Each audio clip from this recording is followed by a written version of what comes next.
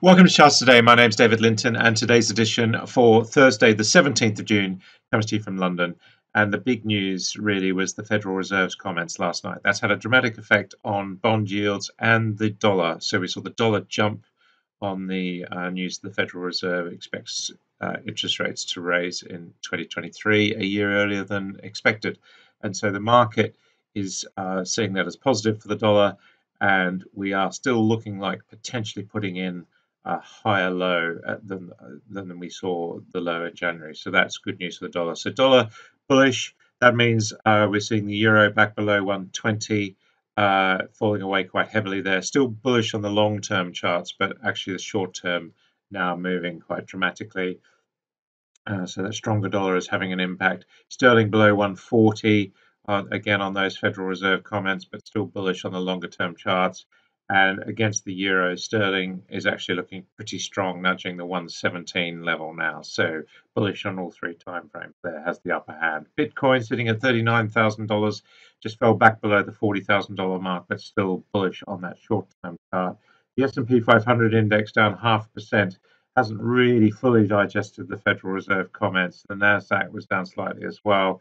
Seeing the futures this morning down a third of a percent on the S&P and down half percent on the Nasdaq. So markets are uh, seeing that uh, Federal Reserve comment as um, negative, obviously, and we're seeing the VIX volatility has been jumped from around a lower 15 at the early start of the week to now 19. So again, we're seeing uh, upside targets here, and that's a feature of a lot of these charts now.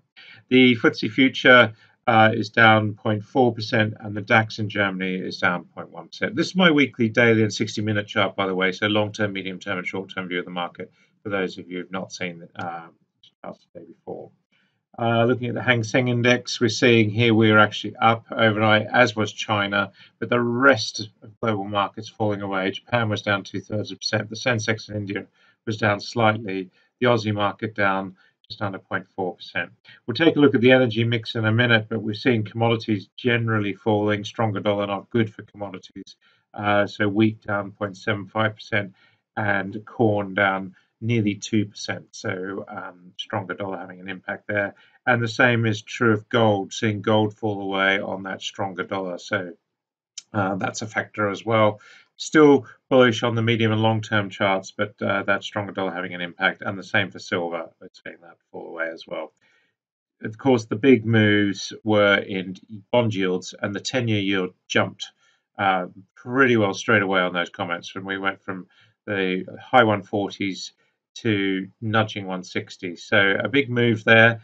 And if we move higher than the high that we saw uh, at the end of today, yesterday, we will activate this upside target to 179. That would take us higher than the high that we saw in March uh, and really start to show that 3.27 target as playing through. These targets would disappear off the chart. So a higher high uh, than we saw yesterday will activate that upside target some 14% higher and give us a new high 10-year yield. Uh, looking at the um, German Bund, falling back to short-term bearish uh, on those comments yesterday as well.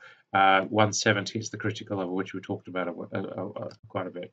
Now, looking at the energy mix, uh, we're down this morning, but Brent crude looking pretty strong. It did nudge 75 yesterday, and we have got targets 75, 60, 75, 60, 75, 80, all activated. So it does look like we will go back higher than this 75 level. So crude oil just looking pretty strong at the moment. And potentially on this half percent chart, we will activate this big target here um, if we pull back and then go higher. So that will be one to watch. Uh, US NAT gas sitting at 324, holding that uh, the, these higher levels. It was as high as 337. Uh, so we have seen some pretty big moves there. And if we look at uh, coal, uh, we're down just slightly there, but still looking bullish on the trend there.